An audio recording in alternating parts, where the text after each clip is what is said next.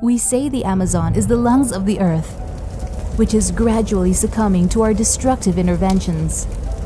Just like millions of lungs worldwide succumbing to the infectious attack of a pandemic, COVID 19, many nations face a huge shortage of one life saving equipment the ventilator.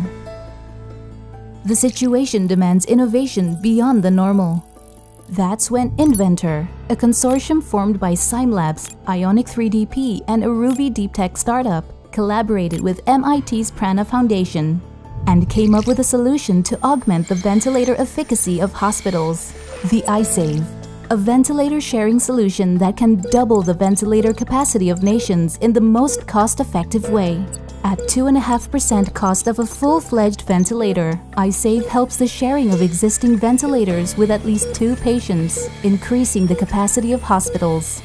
iSave can operate in volume or pressure control mode, has got patient-specific flow controls, PEEP controls operable through mobile or tablet devices. Special measures ensure the mitigation of cross-contamination between patients. Various alarms help with personalized patient monitoring. It takes less than 10 minutes to assemble iSave to work in sync with existing ventilators. iSave can accommodate sudden changes due to patient deterioration or improvement, thereby reducing risks and enhancing patient care.